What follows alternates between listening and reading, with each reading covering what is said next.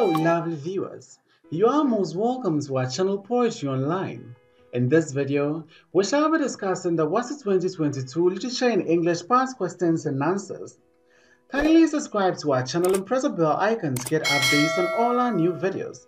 Once again, let us assure you of a very interesting discussion. Get ready for this lesson. Section A. Answer all the questions in this section. Part 1 General Knowledge of Literature. Question 1 An indirect reference to characters or events in another work is A. Apostrophe B. Foreshadow C. Allusion D. Flashback The correct answer to this question is C. Allusion. Question 2 In a play, the dash also comments on the action. A. Antagonist. B. Chorus. C. Protagonist. D. Villain. The correct answer to this question is B. Chorus. Question 3. Romeo and Juliet and Romeo and Juliet are A. Epitaph B. Epigrammatic C. Epitaph. D. Eponymous. The correct answer to this question is D. Eponymous. Question 4. Light to my path is thy word, Lord. Illustrates A. Allegory. B. Apostrophe. C. Contrast. D. Parallelism. The correct answer to this question is B. Apostrophe. Question 5.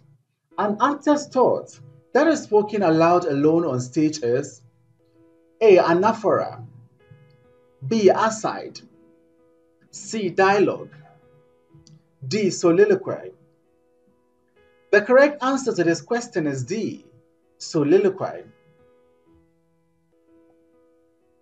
Question 6. An elegy is a poem of A. Celebration and happiness. B.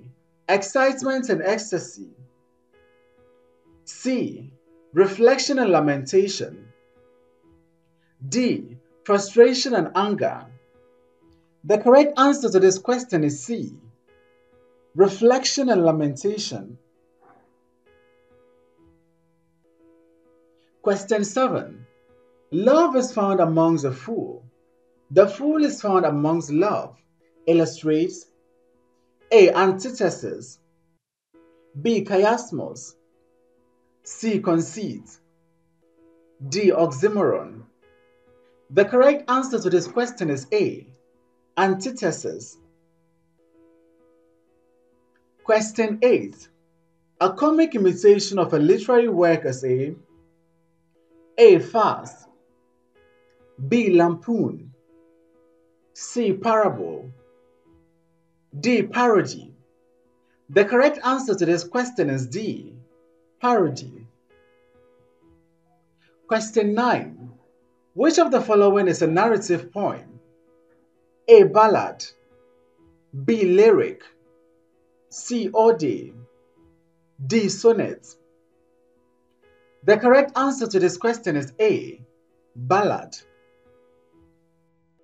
Read the extract below and answer question 10. Whenever we saw Mrs. Sevier, we looked in vain for some sign of the beauty that must have once been hers. The extract again. Whenever we saw Mrs. Sevier, we looked in vain for some sign of the beauty that must have once been hers. Question 10. The point of view used in this extract is A. First person B. Second person C. Third person D. Omniscient The correct answer to this question is A. First person. Question 11. A major element of a short story is A. Costume B. Plot C. Props D. Stanza The correct answer to this question is B. Plot. Question 12. In a story, foreshadowing evokes the atmosphere of A. Epiphany B. Fear C. Suspense D. Tranquility The correct answer to this question is C. Suspense Read the lines below and answer questions 13 to 14. Tell it nuts and Gath. Tell it nuts in the streets of Ashkelon. Lest the daughters of the Philistines rejoice. Lest the daughters of the uncircumcised triumph. The extract again. Tell it not in Gath. Tell it not in the streets of Ashkelon. Lest the daughters of the Philistines rejoice. Lest the daughters of the uncircumcised triumph. Question 13. The lines illustrate A. Battles B. Contrast C. Euphemism D. Parallelism The correct answer to this question is D. Parallelism Question 14. The mood of the speaker is one of A. Anger B. Delight C. Sorrow. D. Regret. The correct answer to this question is C. Sorrow. Question 15. Poetic license refers to the A. Poet's ability to obey rules of the language. B. Liberties the poet takes with language. C. Poet's reward for composing acceptable poem. D. License granted to the poet to write poetry.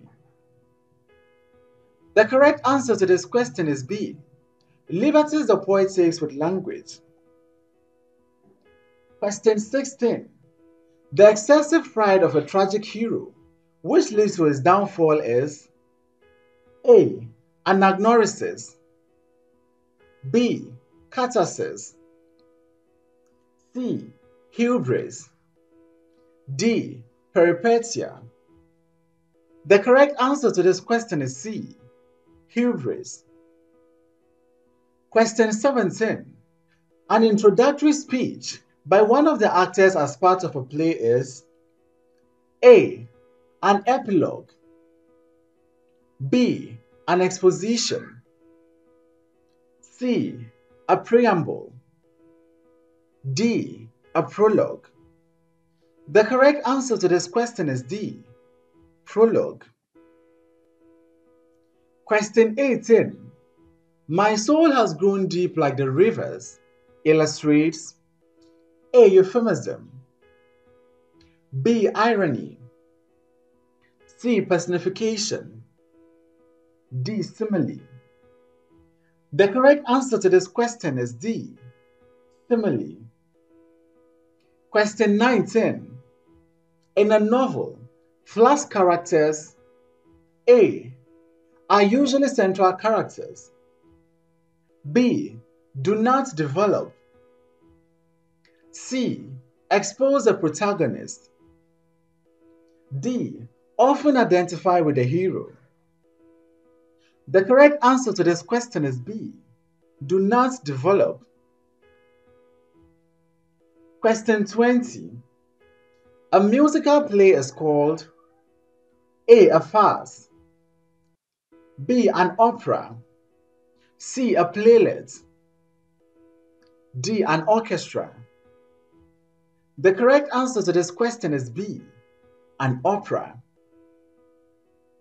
Part II Unseen Prose and Poetry Read a passage below and answer questions 21 to 25. Passage A group of six aged feet and a boy tried the serpentine path to the distant market at Ajota village to sell their wares, which ranged from a balance of second-hand clothing, earthen cooking pots, to an unwilling goat with a rope tied to its neck and dragged along the sand-baked road that led to the markets. The men amongst them were all silent. Only the two women in worn-out wrappers whispered to each other about the rising cost of things in their village. One of the women had earlier cautionally scolded a young boy for his playfulness. The boy was having a hard time steering the he goat securely tied around his waist, his face drenched in sweat. The young boy was the only surviving child of the woman who scolded him. He was just recovering from an illness that almost took his life, the way it had taken the lives of three others before him. It took the intervention of a medicine man from the neighboring village to keep him alive. He had told the mother that the boy was destined to serve the gods. On these travelers' faces were lines of their lives' travails.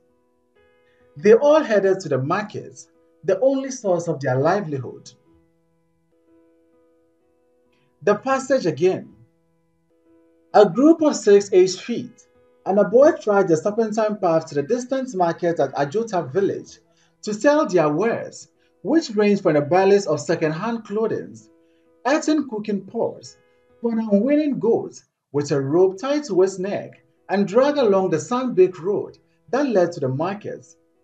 The men amongst them were all silent. Only the two women in worn-out wrappers whispered to each other about the rising course of things in their village. One of the women had earlier cautionally scolded a young boy for his playfulness. The boy was having a hard time steering the he goat securely tied around his waist, his face drenched in sweat. The young boy was the only surviving child of the woman who scolded him. He was just recovering from an illness that almost took his life, the way it had taken the lives of three others before him. It took the intervention of a medicine man from the neighboring village to keep him alive.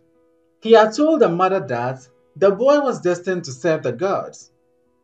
On these travelers' faces were lines of their lives' travails. They all headed to the markets, the only source of their livelihood. Question 21.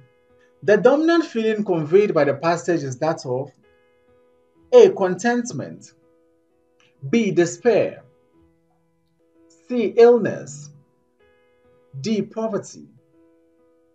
The correct answer to this question is D. Poverty. Question 22. The market in the passage symbolizes A. Desperation B. Hope C. History D. Suffering The correct answer to this question is B. Hope. Question 23. 6 H feet illustrates A. Hyperbole B. Metonymy C. Synecdoche D. Zeugma The correct answer to this question is C. Synecdoche Question 24. The dominant image appeals to the sense of A. Smell B. Taste. C. Sight. D. Touch. The correct answer to this question is C. Sight. Question 25. The setting portrays a sense of A. Cosmopolis B. Local color C. Metropolis D. Urban color the correct answer to this question is B. Local color. Read a poem below and answer questions 26 to 30. Bam, bam. The crying sounds of boots on gravel. Faces devoid of feelings. That runs the machine guns. Its devastating effects. Screams and shouts from the defenseless. Laughter and scorn from the oppressors. The extract again. Bam, bam. The crying sounds of boots on gravel. Faces devoid of feelings. That runs the machine guns. Its devastating effects. Screams and shouts from the defenseless. Laughter and scorn from the oppressors. Question 26. Bam, bam. illustrates A. Cacophony B. Euphony C. Onomatopoeia D. Rhyme The correct answer to this question is C. Onomatopoeia Question 27 The mood of the poem is one of A. Helplessness B. Indifference C. Regret D. Sadness The correct answer to this question is A. Helplessness Question 28 The rant of the machine gun illustrates A. Assonance B. Personification C. Litotes D. Metaphor the correct answer to this question is B. Personification. Question 29. The poem is about A. Resistance B. War C. Valor D. Survival The correct answer to this question is B. War. Question 30. The dominant words in the poem are a. Harsh. B. Melancholic. C. Satiric. D. Solemn. The correct answer to this question is A. Harsh. Section B. Answer all the questions in this section. William Shakespeare, A Midsummer Night's Dream. Read the extract below and answer questions 31 to 35. Speaker X. But oh, methinks how slow this old moon wanes. She lingers my desires, like to a step dame or a dowager, long watering out a young man's revenue. Speaker Y. Four days will quickly step themselves in night. Four nights will quickly dream away the time. And then the moon, like to a silver bow, new bent in heaven, shall behold the night of our solemnities. Act 1, Scene 1, lines 3 to 11. The extract again. Speaker X. But oh, methinks how slow this old moon wanes. She lingers my desires, like to a step dame or a dowager, long watering out a young man's revenue. Speaker Y. Four days will quickly step themselves in night. Four nights will quickly dream away the time. And then the moon, like to a silver bow, new bent in heaven, shall behold the night of our solemnities. Act 1, Scene 1, lines 3 to 11. Question 31. Speaker X says, A. Egeus. B. Lysander. C. Oberon. D. Theseus. The correct answer to this question is D. Theseus. Question 32. Speaker Y is A. Helena B. Hermia C. Hippolyta D. Titania The correct answer to this question is C. Hippolyta. Question 33. Our solemnities refers to A. Banquets B. Funerals C. Revelry D. Wedding The correct answer to this question is D. Wedding Question 34. Speaker X is A.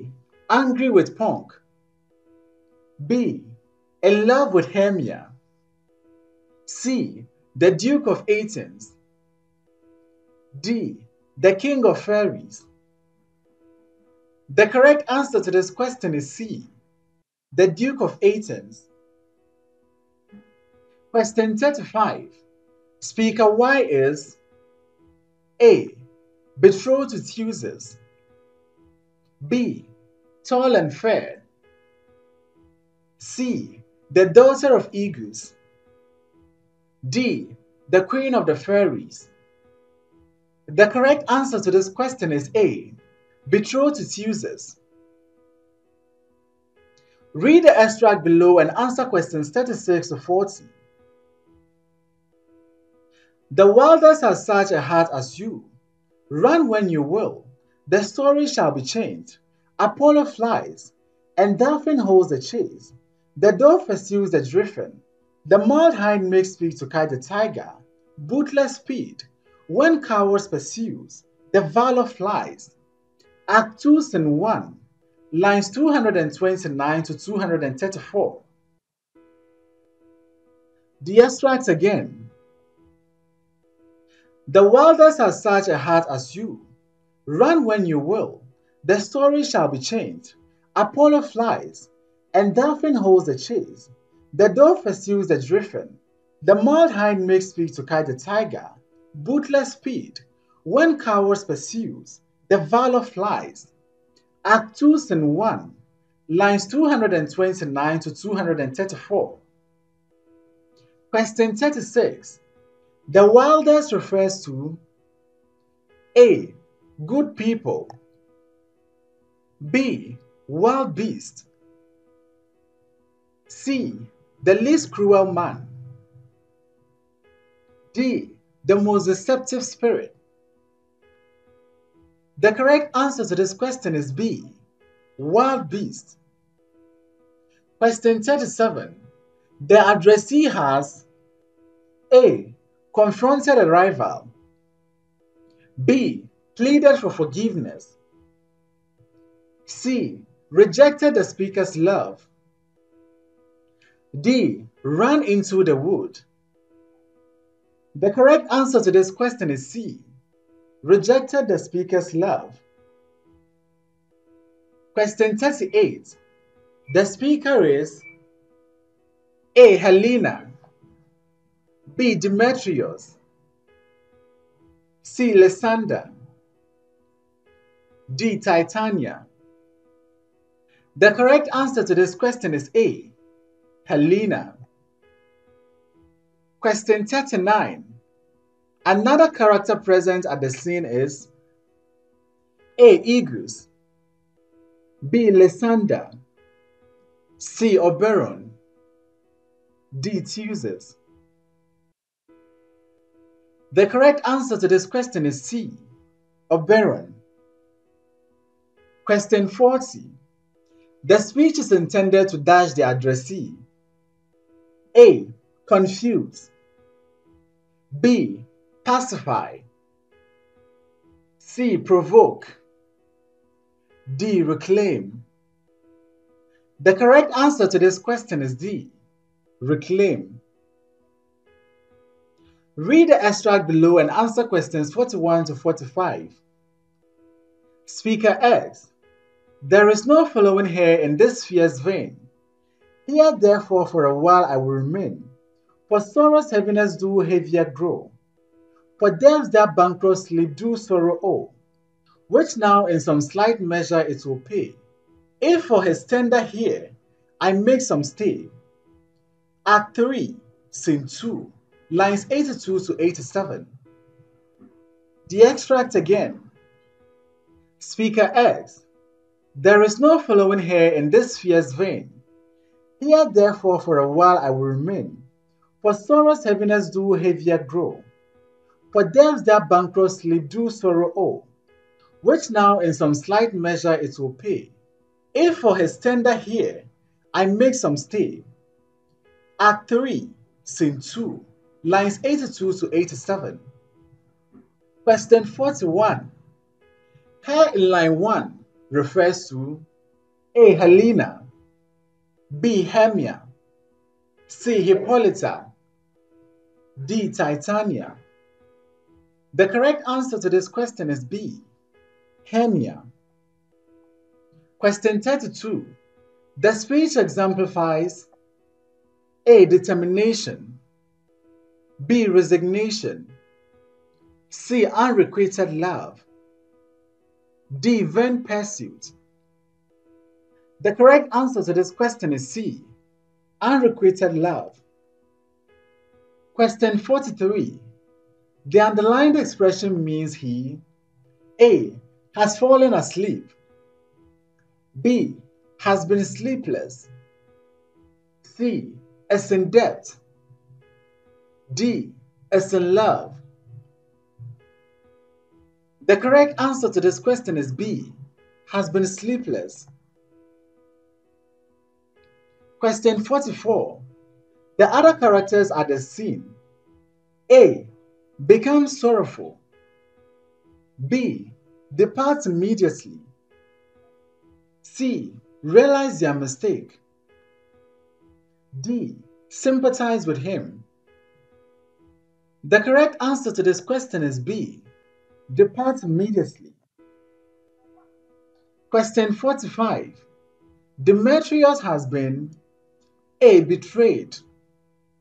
B. Deceived. C. Under a spell. D. Under a threat. The correct answer to this question is C. Under a spell. Read the extract below and answer questions 46 to 50. Where I have come, great clerks have purposed to greet me with premeditated welcomes. Where I have seen them shiver and look pale, make periods in the midst of sentences, throttle their practiced accents in their fears, and in conclusion, dumbly have broken off, not paying me a welcome. Act 5, Scene 1, lines 93 to 99. The extract again. Where I have come, great clerks have purposed to greet me with premeditated welcomes. Where I have seen them shiver and look pale, make periods in the midst of sentences, throttle their practiced accents in their fears, and in conclusion, dumbly have broken off, not paying me a welcome. Act 5, Scene 1, lines 93 to 99. Question 46. The speaker is A. Helena, B. Hermia, C. Theseus, D. Philostrate. The correct answer to this question is C. Theseus. Question 47. The speaker is addressing A. Hippolyta, B. Lysander, C. Philostrate, D. Queens. The correct answer to this question is A. Hippolyta. Question 48. The speech is a reaction to A. Hippolyta's reaction of the burden the poor bears. B. Philostrate's rejection of the play within the play. C. The address of the chorus. D. Arrival of the players. The correct answer to this question is A. Hippolyta's rejection of the burden the poor bears. Question 49. The speaker's experience is that A. The poor are inhabited. B. Even the poor can be tongue tied. C. The poor are eloquent. D. Even the eloquent can falter in their speech. The correct answer to this question is D. Even the eloquent can falter in their speech. Question 50. At the end of the speech, A. Hippolyta storms out of the place. B. Philostrate announces the prologue. C. The ladies settle down. D. The curtain is drawn. The correct answer to this question is B. Philostrate announces the prologue. Thanks for watching this video. Please don't forget to like, comment, subscribe and share this video.